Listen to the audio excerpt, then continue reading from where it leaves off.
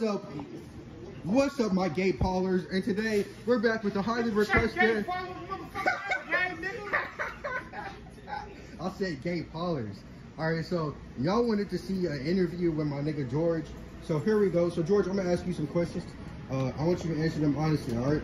So George, where where were you born? Tell us a little bit about yourself. What what do you like to do? What do you like to do, George? George, tell me, what do you like to do, man?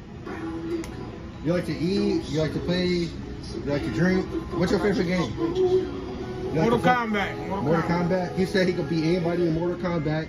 He said he want all the smoke. What's your what's your gamer tag? So they can add you. GS, GGS. GGS SI, whatever the fuck it is, nigga. But if y'all if y'all add me, I'll, I'll, I'll tell y'all his shit.